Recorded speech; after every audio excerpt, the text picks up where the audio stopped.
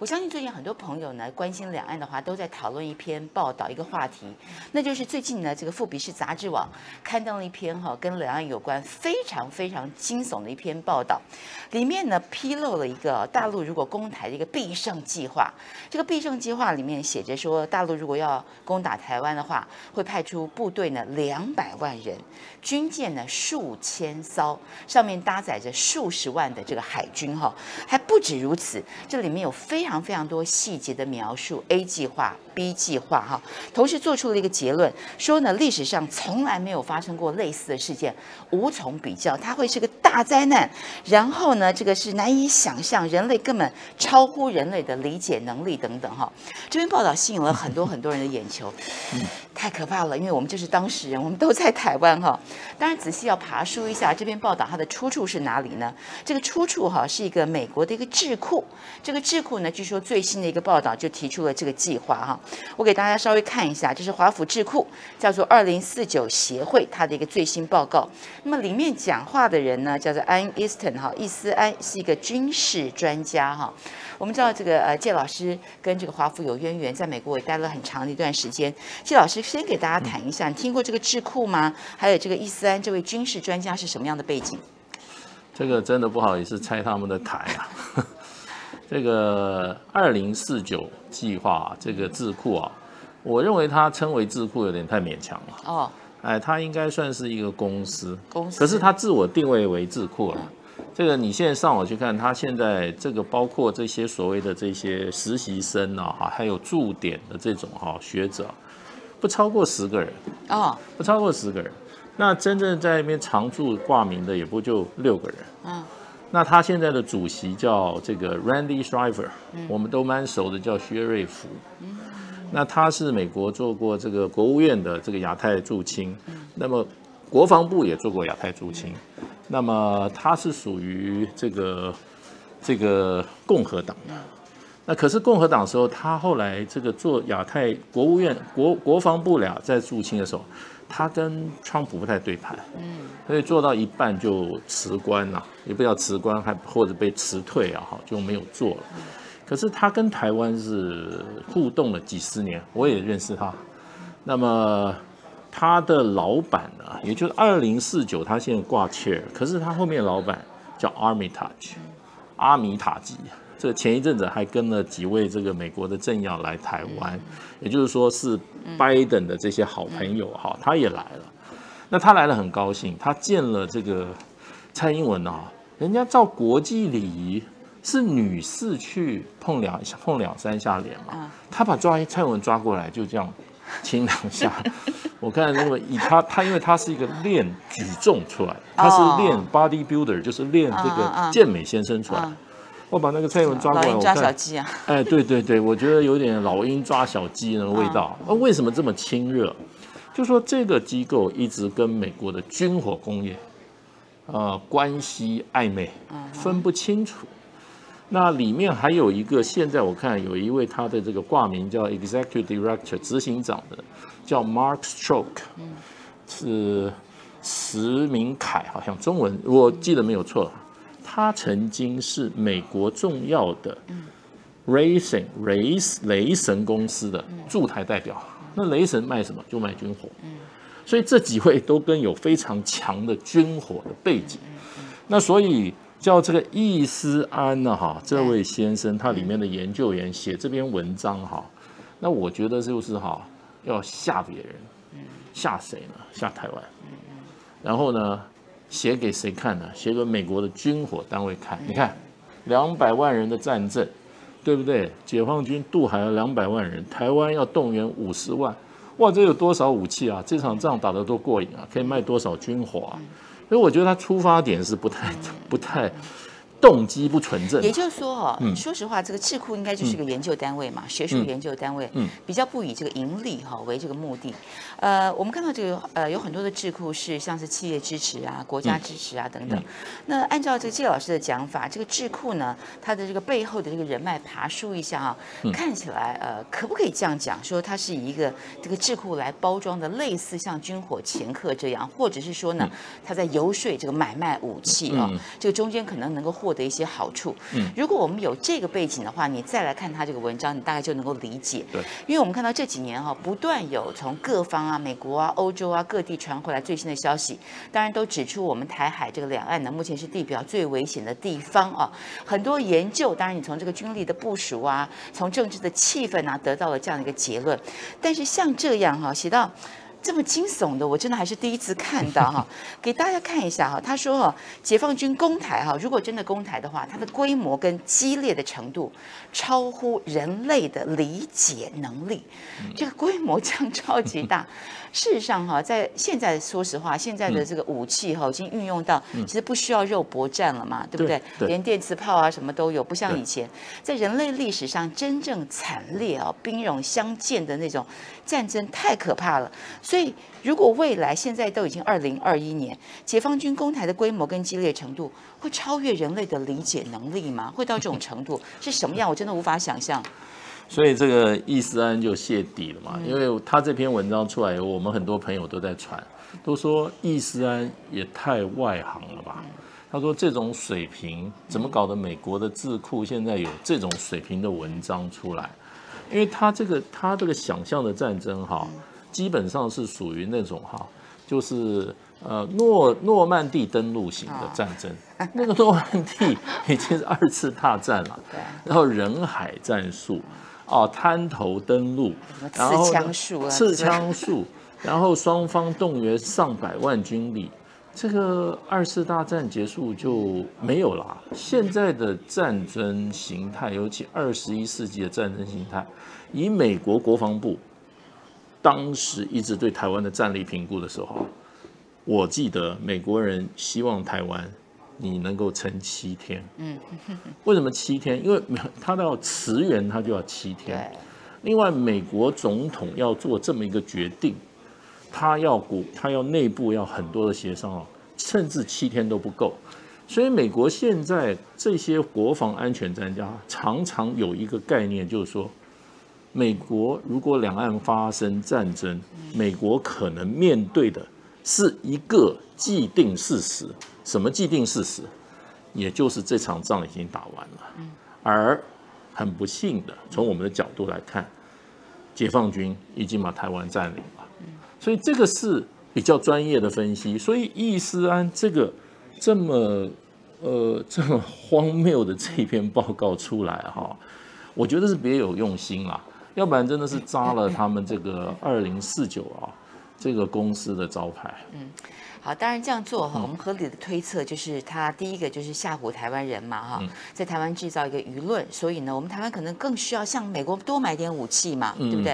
因为这个战争太惨烈了，所以一方面是呢，是这个在台湾形成一个氛围，让台湾呢买武器，或者说至少，因为我们看到每年的军购案在台湾呢都引发了很大的批评，至少希望这个阻力能够消除。二方面呢，我不知道是不是拿给这个美国的军火商拿去交报告啊，是不是哈？我的功能达到了。当然这里面提到了一些细节。他认为如果说解放军攻台的话，至少呢会从一个要攻占一个完整的一个海港。那么台湾呢适合这个滩头登陆的海港，大概总共小型海滩大概有十四个哈。另外他也详细计算了一下兵力哈，这个兵力他怎么计算呢？那很有意思的哈，它分成两个部分。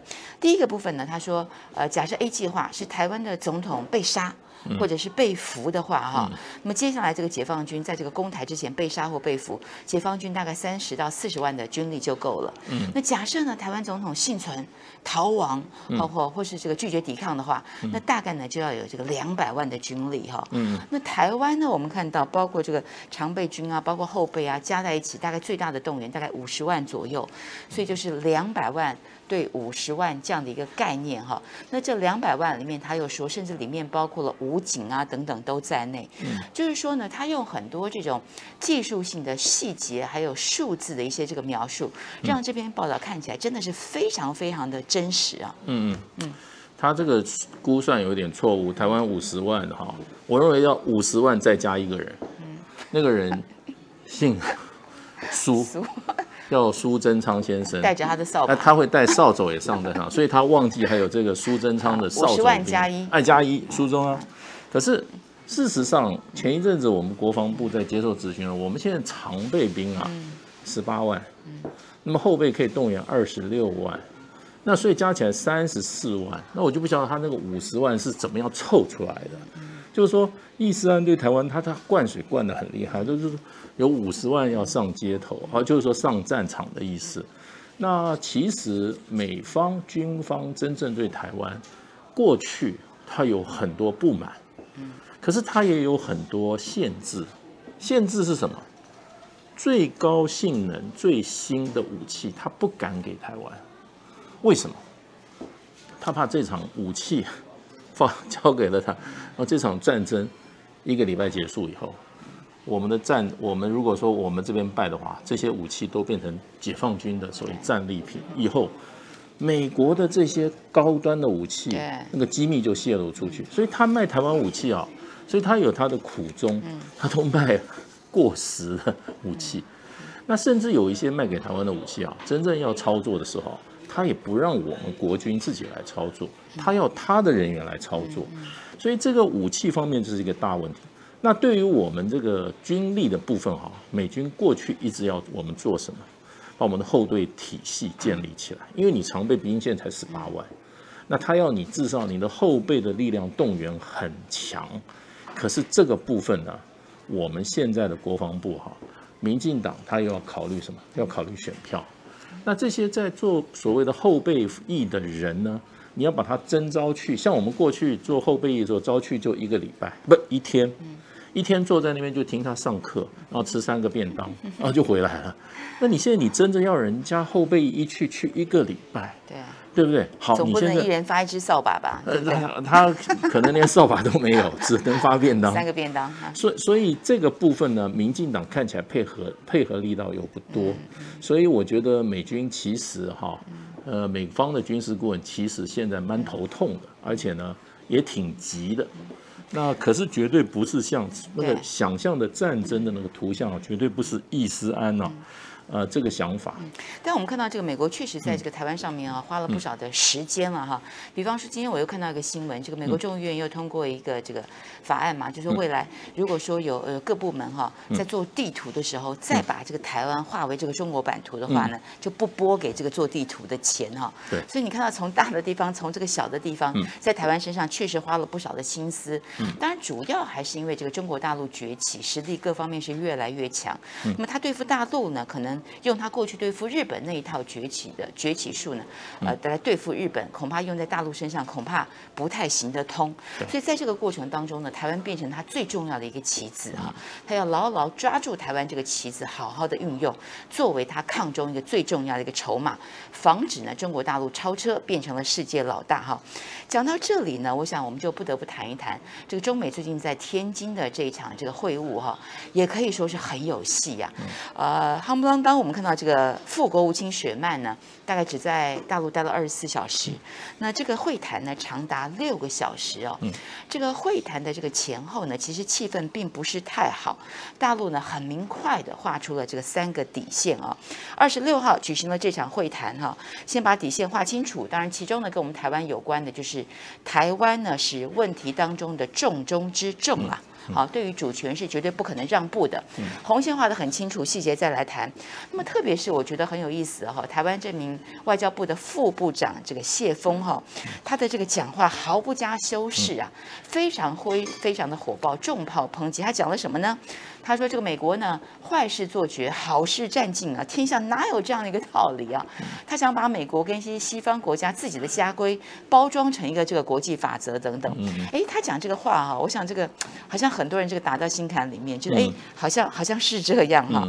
另外，这个网民也在下面很多留言了，很多人觉得听了很解气，还有很多网民说呢，觉得这次美国的这个雪曼来好像不是来开会的，好像是来挨骂的。”这个气氛挺尴尬，你怎么看？因为美国事实上霸道惯了，对，他过去一段对于大陆的这个哈政策跟手法，基本上都脱离了国际法、国际常规、国际礼仪，两国正常交往的应该有的这种哈所有的这些应该的规矩啊，美国全犯了。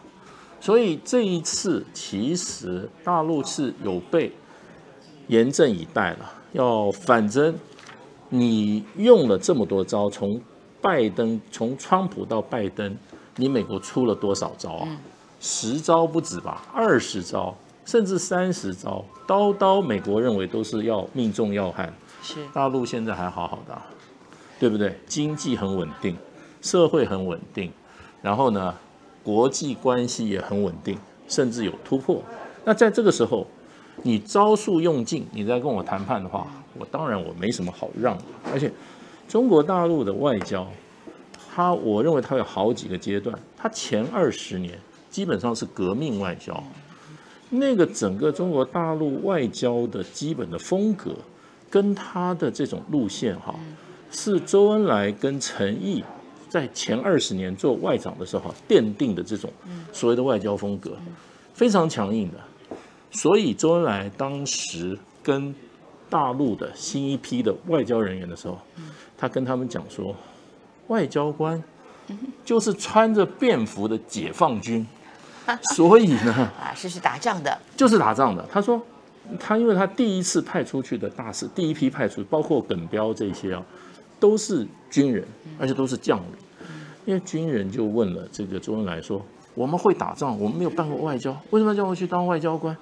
周恩来就说：“你们不要搞错，外交也是打仗，所以你们会打仗，而且你们守纪律，所以派你们去做外外交战场上继续，就是一个要使命必达的概念了，继续打。所以像谢峰，我觉得就是现在又回到一个哈，大陆当年的那个外交的风格。那你说谢峰讲的话，我觉得是很强硬。那你要看当年陈毅。”在不管是韩战或者说是这个，尤其越战时候，他那个发言更是直接，更是强硬，更是一副就是说，你如果要打的话，我就奉陪到底。所以这一类的话，现在谢峰只是说，他这一次提出来要美国改进那两张清单下去的话，我认为每一个都是美方无理的一种要求作为。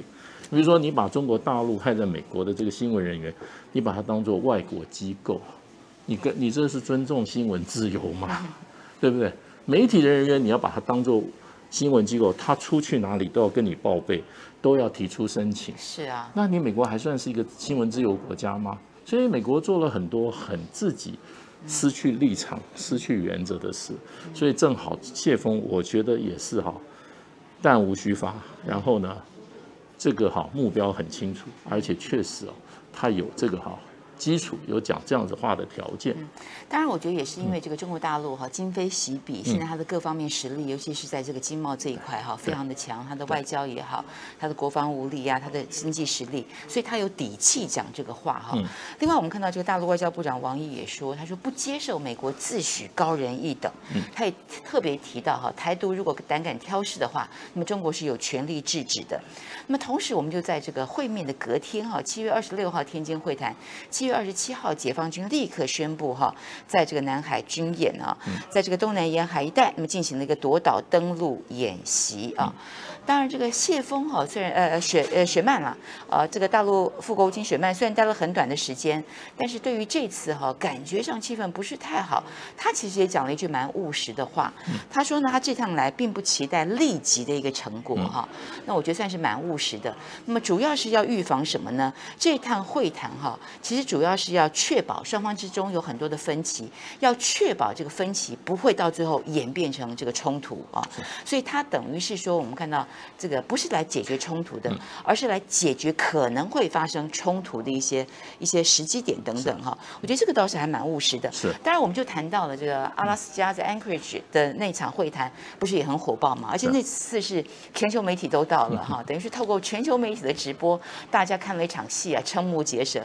这个算是阿拉斯加会谈的续集吧，同样火爆。这个这一次一共谈了六个小时。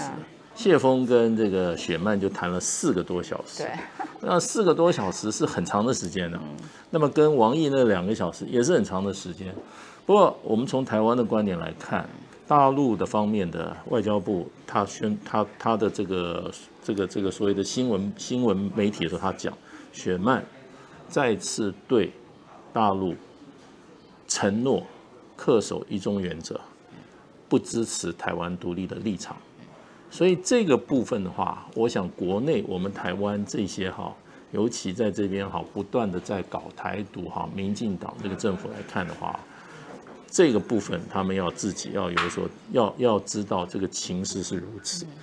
那美国国务院他那个发言人曾经说，他们这次去是要树立一个护栏，也就是说，他们可能要让大陆知道，我做到这些事情，有些事情我的我的我的红线就在这里了。那你告诉我你的红线在哪里？双方把红线画清楚。那这个是外交上很重要的，而且避免怎么样擦枪走火，因为外交是基本上是追求和平跟沟通的。那如果说国防，所以国防部门都比较强硬，到了外交，他就要把事情啊可控，然后呢可预测，这样对双方都好。所以我觉得他们这次双方在事后发言过程都讲了一点，就是说双方进行了很。坦诚，很深入的意见交换。那这个部分，我觉得，呃，双方已经在寻求一个基本的共识了。那美国是希望，当然是希望在这个十月底嘛，这个这个 G 团体的这个高峰会里面哈，有这个习拜会。那么，然后。呃，大陆方面，我觉得可能他们还在考虑这件事情。那不论如何，外交讲的是实力啦。那雪曼今天这个千里迢迢到天津听了这么场训，何所谓何来？他一定有所求。那有所求，另外他为什么不硬？他硬不起来，那就是美国国内的情势。因为拜登要布局明年年底的其中选举。他很多地方需要跟中国大陆有所共识，有所沟通，甚至有所合作。那在这个情势下，大陆对美国无所求，美国对大陆所求多于大陆的时候，那个这个情势的话，我想，呃，是很值得我们继续密切的注意的。因为美国跟大陆，大陆跟美国关系最直接影响的就到台湾。所以，对，所以民进党目前走的路可能会也会走不下去。虽然这个气氛不好，但是我相信这个双方呢会接下来后继续密集的这个谈哈。这个谈就是为了避免这个擦枪走火，要确定哈，大家至少红线守住，这个底线是踩稳哦。当然，在这个红线守住、底线踩稳，美国对台虽然慢慢的逐渐所谓的战略清晰，但是再怎么样战略清晰，刚刚季老师讲的很清楚，包括一中原则等等这些红线是无法逾越的啊。那在这个红线以内呢，大家就像跳恰恰一样哈，你进一步我退一步，我退一步你进一步，就慢慢的争取各自的利益。